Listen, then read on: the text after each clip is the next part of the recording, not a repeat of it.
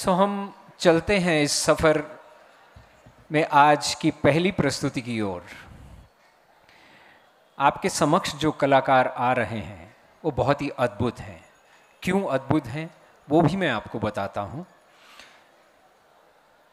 इन्हें बचपन से ही पियानो में महारत हासिल करने की बहुत ही तीव्र इच्छा थी और एक तरह का जुनून था। जब वो मात्र चार वर्ष के थे तब से उनके मन में ये था कि वे इस वाद्य यंत्र को साधेंगे। प्रारंभिक वर्ष जो हैं उनके कानपुर में, उनके परिवार संगीतमय था तो उसी में गुजरे उनके। लेकिन अब सबसे गज़ब की बात मैं आपको बताऊँ कि ब्रायन जी का संगीत में कोई औपचारिक प्रशिक्षण नहीं है। ये बहुत मुश्किल है सोचना कि इतना सुंदर वाद्य यंत्र और जिस लेवल तक वो अपनी कला को ले गए हैं, उन्होंने कोई फॉर्मल ट्रेनिंग नहीं ली है। और अभी मैं उनसे बात भी कर रहा था जब तो उन्होंने बताया कि मैं ऐसे ही बच्चों को सिखाता भी हूँ। तो जब वो सिखाते हैं, बोले वो नोट सुनते हैं और तब पियानो ग्रैंड पियानो को देश और विदेश, बल्कि अंतर्राष्ट्रीय स्तर तक ले जाने में ब्रायन सिलास का हार्थ है। जोरदार तालियों से हम ब्रायन का स्वागत करते हैं मंच पर। देखिए, भारतीय फ़िल्मों में, सर, भारतीय फ़िल्मों में पियानो को बहुत इस्तेमाल किया गया है। इसका बड़ा व्यापक रूप से उपयोग हुआ है। लेकिन कभी भी कोई मुख्य गाना, यानी एक मेन सॉन्ग किसी भी फ़िल्म का, पियानो को ध्यान में रखकर रचा ही नहीं गया, जितने भी संगीतकार थे। लेकिन ब्रायन ने सही मायनों में as a one man orchestra बनकर हर गीत की बारीकियों को सामने लाने में भरपूर सफलता हासिल की, हर गीत को। और आज ब्रायन के बिना कोई भी फ़िल्म का संगीत अधूरा ही रहेगा। फिल्मी दुनिया के महान संगीतकार हुए हैं, खयाम साहब, Salil Chowdhury O P Nayyar, S D Burman Laxmikant Pyarelal, Ravi और बहुत से और कलाकार संगीतकार हमारे हुए हैं। और उनको जो उन्होंने संगीत गया, उनके हर गीत को उन्होंने यादगार बना दिया। उन्हीं गीतों की कुछ झलकियाँ आज आपके समक्ष प्रस्तुत की करेंगे, ब्रायन जी। और इस सफ़र पर हमें वो ले जाएँगे, जिस सफ़र का नाम दिया है हमने, nostalgia. So ladies and gentlemen I take leave from you मैं आपके और ब्रायन जी के बीच से हटता हूँ और मंच हवाले करता हूँ ब्रायन जी और उनके साथियों के। तो आइए इस सफ़र पर आगे बढ़ते हैं।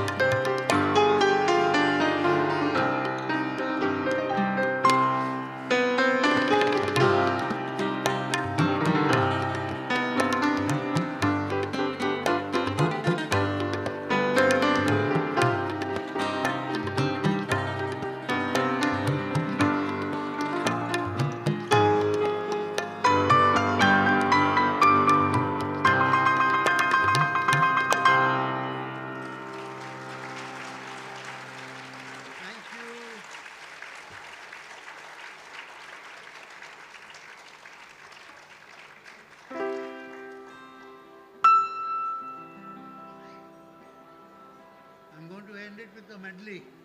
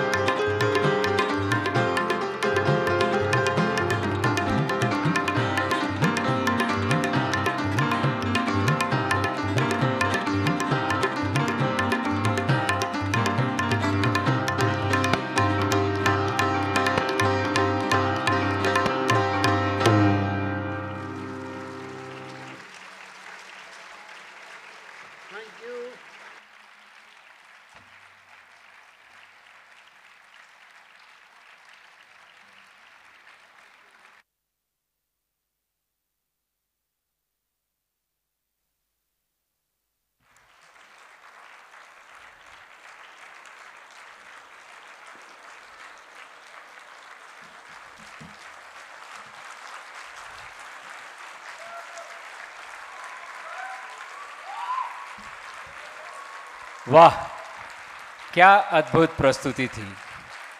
ब्रायन जी, हमारा भी जिगर कहीं खो गया है। अभी अभी यही था, किधर गया जी, आप ही की तरफ़ आया है जी।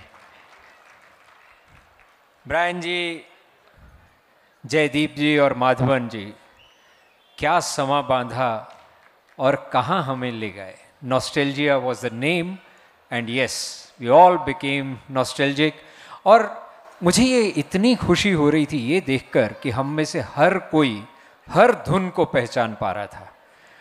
गीतों का वो सफ़र जो इतने वर्षों से डेकेज से शुरू हुआ, बीच में कुछ नए नगमे भी आए, लेकिन कमाल, ऐसी उंगलियाँ। ब्रायन जी, मुझे झूठ लगता है कि आपने संगीत फॉर्मली सीखा नहीं है। कमाल किया किया आपने? और अगर, अब सोचिए कि आपने अगर इस शिक्षा को औपचारिक रूप से लिया होता तो हमारा क्या होता? लेकिन अभी भी तो संगीत यहाँ होता है, दिल में होता है। ये ब्रायन जी ने सिद्ध कर दिया कि अगर दिल में इच्छा है तो फिर अपने आप सरस्वती का आशीर्वाद मिलता है और वही ब्रायन सिलास को मिला। जोरदार तालियों से हम अभिनंदन करें ब्रायन जी का। मैं आरपी ठाकुर साहब से अनुरोध करूँगा कि वे मंच पर आएँ। ब्रायन और बाकी साथी कलाकारों का अभिनंदन करें।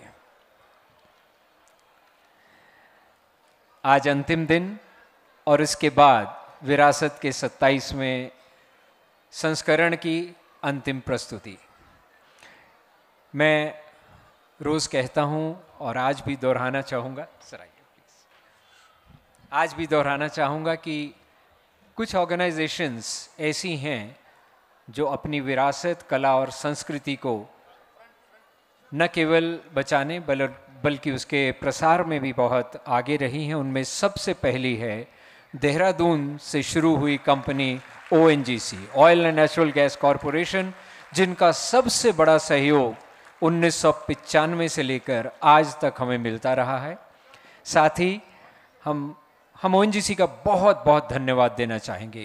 बिना ओ के इसकी परिकल्पना भी असंभव है। हम Uttarakhand tourism development board united India insurance company new India insurance company Amul state bank of India हर भारतीय का बैंक उत्तराखंड के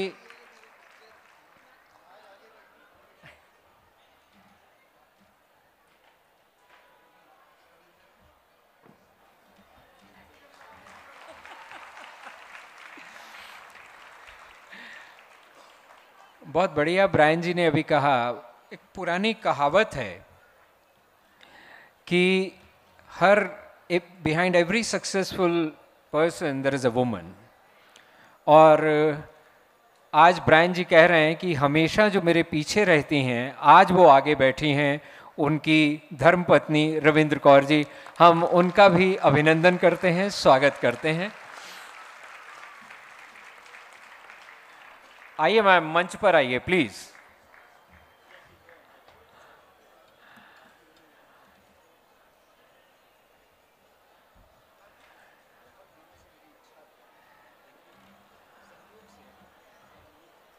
तो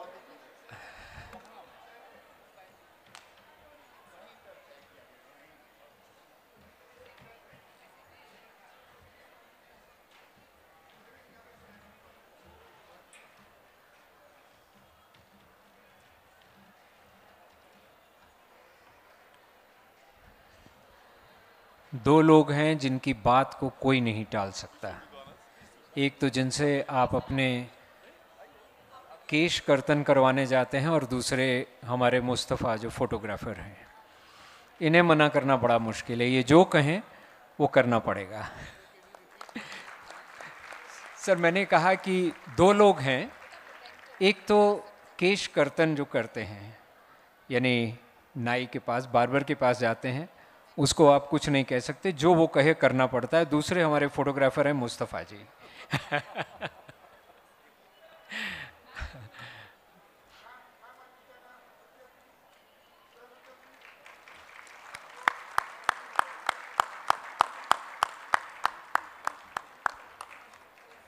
thank you so much